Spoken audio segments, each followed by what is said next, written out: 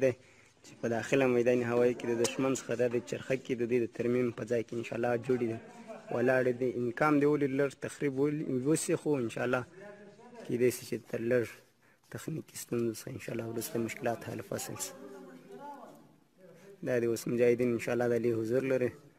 بس مکمل د مجاهدینو لاس سره غنیمت په توګه ورغلی دا د دوی تعمیرګاه ده په اصطلاح د دوی ترمیم ځای دی د دې چرخه کې او تیارې مکمل پاتې دی یو دوی چرخه کې دلته دی یو د انرجي ټبل ځای ولاړه ده انشاءالله هغه په هغه سالون کې هم تقریبا د تیارو ټول امکانات دی داسې